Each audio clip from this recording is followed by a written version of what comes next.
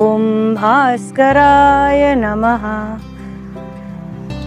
मंत्र पे जब आप सूर्य नमस्कार करते हैं तो ये आपके बॉडी को हील करते हैं। आपको जैसे पता ही होगा कि मंत्र चैंटिंग करने से शरीर का हर एक अंग हील होता है। शरीर बाहर से नहीं, अंदर से भी उतना ही हेल्दी बनता है, जितना कि बाहर से आप एक्सरसाइज करके करते हैं। सूर्य नमस्कार के बारह आसन आप करते हैं तो फ़िज़िकल आप बाहर से आउटर लेयर से अपने हर एक अंग को मज़बूत करते हैं। और जब आप मंत्र चैंटिंग के साथ साथ सूर्य नमस्कार करते हैं तो आप अंदर से हर एक ऑर्गन को भी हील करते हैं, क्योंकि मंत्र की शक्ति आपके शरीर को हील करती है। मंत्र चैंटिंग